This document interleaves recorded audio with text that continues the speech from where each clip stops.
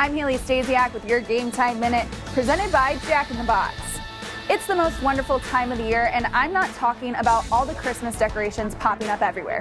It's playoff football time. In 4A, number 10 Greenway takes on number 7 Peoria. The Demons have a young offense and will be relying on their experienced defense to carry them through the postseason. In 6A, number 11 Basha takes on number 6 Desert Vista.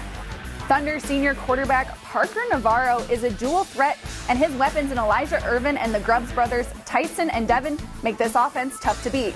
The Bears have lost six straight since losing starting quarterback Gabe Friend in week four. They'll be looking to start fresh here in the playoffs.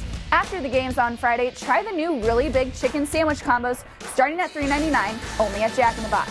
And don't forget to subscribe.